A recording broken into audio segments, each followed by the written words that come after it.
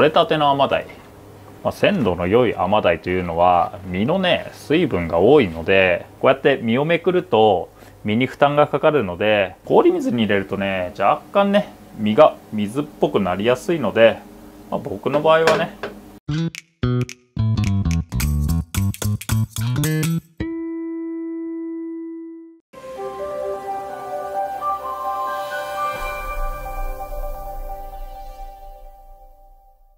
甘鯛のしゃぶしゃぶということで、えー、赤甘鯛のしゃぶしゃぶを作っていこうかと思います。甘鯛は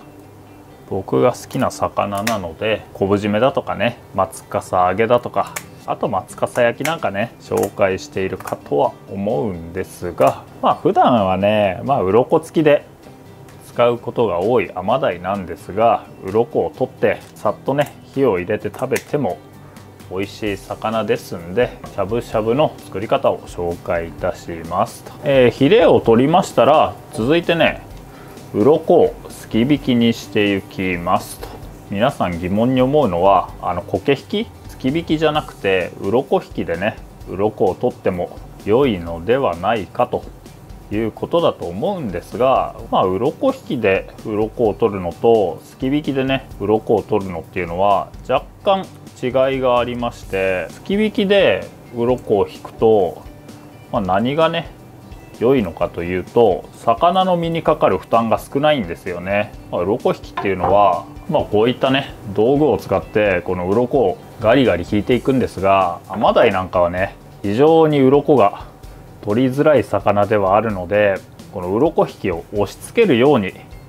扱うことになりますので担がかかりやすい。まあ身が傷みやすいと。ただねまあ鱗引きを使う。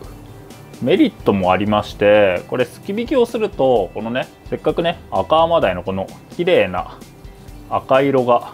残っているかと思うんですが包丁ですき引きにすると、まあ、色がねこ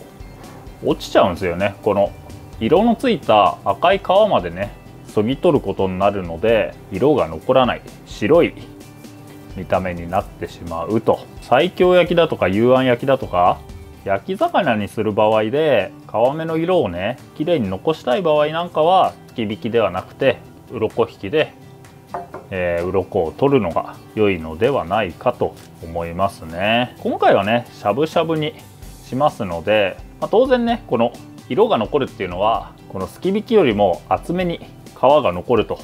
いうことなので、まあ、今回はねしゃぶしゃぶでさっと火を入れて食べるのでこの皮の食感は柔らかくしたいので厚く皮をむけるようにすき引きにしていると。まあすき引きの方が身にかかる負担が少ないのでこう魚をね寝かせて熟成させる場合なんかは状態よく魚を保存できるかなと思いますんでまあそれぞれね目的に合わせてすき引きとこの鱗引きは使い分けるようにしてくださいと。鱗をすき引きしましたら最後ねまあ鱗が残っていないか確認しまして頭と尻尾を落としていくと。で頭を落とす際はこれねこの腹びれの位置に包丁を入れまして、えー、この胸びれの位置から、えー、頭を落とすと。身は柔らかいけれど。骨は硬いというね魚ですんでこの中骨を落としたりだとかまあ尻尾を落とす際にねうまいことこの骨の隙間に入らないと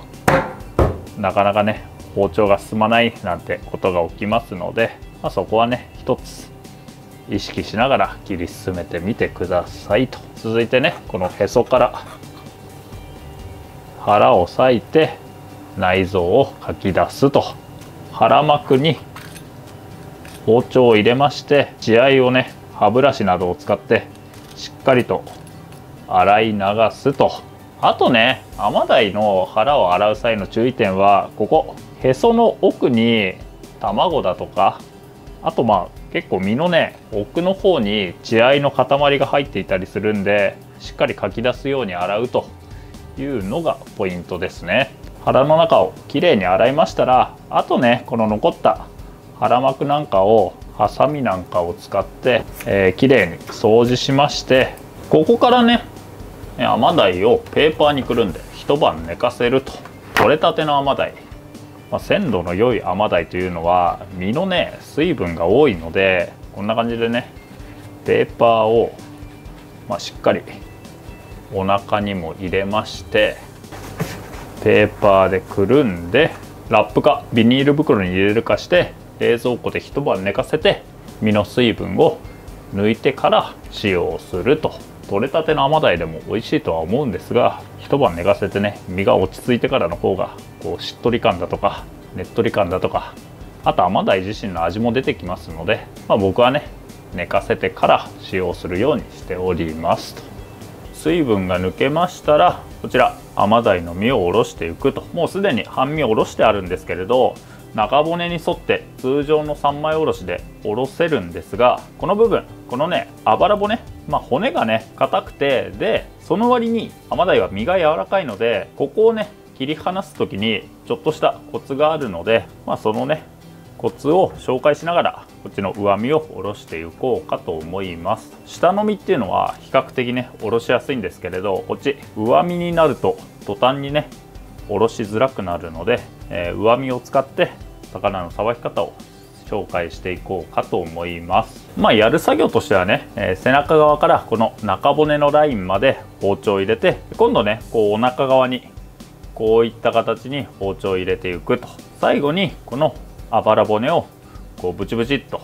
まあ、折るようにしながらね、まあ、割っていくっていうのかな。パキパキパキパキ切り離していくと。まあおろす時のポイントは扱いやすい位置に魚を置くと。ついついねまな板に対してこんな感じで置いてしまうんですがこんな感じで斜めに置いた方がおろしやすいのかなと思いますんであと包丁の長さにもよるんですけれど使いやすい位置に置いて魚をさばくと、えー、まずは背中のねこのヒレのラインに軽く包丁を入れましてそこからこの中骨の上をこう切り進めていくと。包丁のこの辺にしっかりと魚の骨が当たる感覚を意識しながら切り進めると骨に身を余すことなくさばけますんで、えー、このラインまで包丁が入りましたら続いて身を反転させて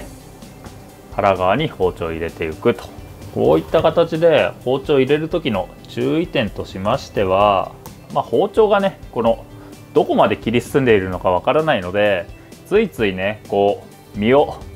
めくってねこんな感じで今どこを切っているのかこう覗き込みたくなるんですが基本的にはねこうやって身をめくると身に負担がかかるのでなるべくね身はめくりすぎないようにしながらこの包丁の感覚だけで自分がね今どこを切っているのか分かるというのが理想形ではありますかね。まあただねどうしても中が見たくなる場合もあるかと思うのでその場合はねこの左手をうまく使ってこんな感じでね上半分をこの魚の背中側をねこうやって押さえるようにすると自然と身が浮いてきますので、まあ、こんな感じで身を浮かせながら切り進めると良いのかなと、えー、この位置まで切り進めましたらあとはねこの最後この中骨の位置にまだね身がつながっているかと思うのでそこを切り離していくと。ここからがね甘鯛を下ろすポイントでして、えー、ここからあばら骨をこう切っていくんですけれど骨が柔らかい魚ならねここでちょっと力を入れればまあパキパキパキっとこのあばら骨が切り離されていくんですがアマダイの場合はちょっと力を入れたぐらいじゃね骨を断ち切ることができませんのでここでねこういう動き骨を一本一本ブチブチっとこうまあ割っていくっていうのかな。まあその1本ずつ切り進めていくようにして魚をさばくと、えー、ポイントとしてはこのね包丁があばら骨の位置まで達しましたらここでちょっとだけね包丁にこう角度をつけましてこのままだとここのねお腹の身を切ってしまうのでこの状態で軽くねお腹側の身を上げて包丁をね押し込むようにして骨を1本ずつ断ち切っていくと。この状態になったら右手のね力を使って包丁をね押し込むようにしながらこんな感じでねこうさばき終わった後にしっかり説明するんですけれどここでね一旦このまな板に切っ先を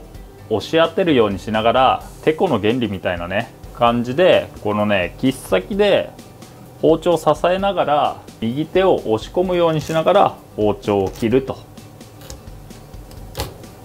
一本一本順々にね切っていくと。最後までいったらあとはね身が剥がれますのでこんな感じで切っ先をこう押し込んでブチッと切ってまた切っ先を押し込んでブチッと骨を1本切ってと。こんな感じでまあ1本1本ね骨を断ち切っていくと。下ろすことができましたらあばら骨を浮かせましてすくい取るようにしてあばら骨を切ると。一気に切ろうとすると身を削りすぎるので、まあ、一本一本ねすくい取るようにすると良いのかなと。あとはねここに残った血合い骨を引き抜くと。このラインね、まあ、血合い骨が入っていたラインで身を半分に渡すと。この部分このね血合い骨が入っていた位置にこういったね強い白い筋がね残るかと思いますので薄くね包丁で切り離しておくと。あとはね切ってしゃぶしゃぶにして食べるだけですので、まあ、尻尾の方から身を切り出してこのね身の厚さは好みによって、まあ、あんまりね薄すぎない方がしゃぶしゃぶでね火を入れて、まあ、表面に火を入れてね中は半生程度に仕上げたいので、まあ、多少ね厚みを持たせて切り出してさっと湯に通してポン酢をかけて食べるだけとしゃぶしゃぶにしていくんですが、まあ、この時のポイントはね、まあ、魚っていうのはこの身よりね皮の方が硬いので皮に少し長めに火を入れるということが、えー、しゃぶしゃぶをする際のポイントですかね。えー、ということで、まあ、お湯を沸かしてね、まあ、塩を1つかみ加えましたら、えー、この甘鯛の身をしゃぶしゃぶにしていくとでねまあしゃぶしゃぶにする際はね身はさっと火を入れるんですがその後にね皮目だけをこう薄く湯につけてちょっと長めにね火を入れると。こんな感じで身を持って皮目だけ10秒ぐらいですかね。でそれから、えー、器にあげると。しゃぶしゃぶにした後についつい氷水に取りたくなるんですが氷水に入れるとね若干ね身が水っぽくなりやすいので、まあ、僕の場合はね少しねあったかいような状態で、えー、食べるようにしておりますかね。まあ盛り付ける際はねわかめですとか今回はねこれは海ぶどうまあ、こんな感じで器に入れまして先ほどのね甘鯛を適当に盛り付けましてポン酢をかけて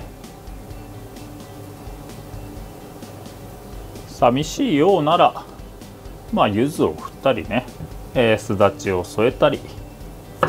えー、適当なあしらいを添えまして、えー、料理の完成とそうまあマダイはね、まあ、鱗が特徴的でね松笠揚げとか松笠焼きとかね、まあ、その辺が注目されがちではあるんですが身もねしっかりとうまみがあって、まあ、とても美味しい魚なのでね是非釣りなどでねたくさん釣れた際はこういったお料理も作って、え、お召し上がりくださいませと。今日はアマダイのしゃぶしゃぶをご紹介いたしました。以上です。